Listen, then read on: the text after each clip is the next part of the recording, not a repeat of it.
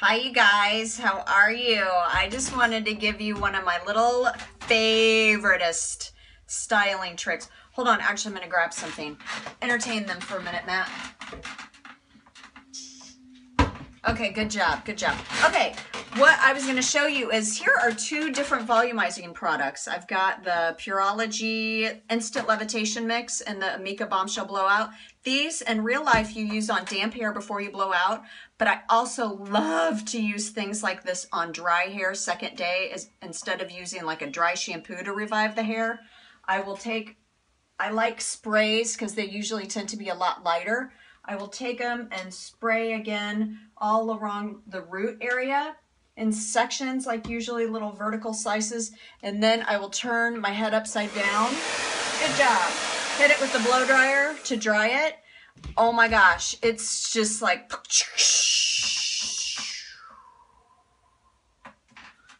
have a good day.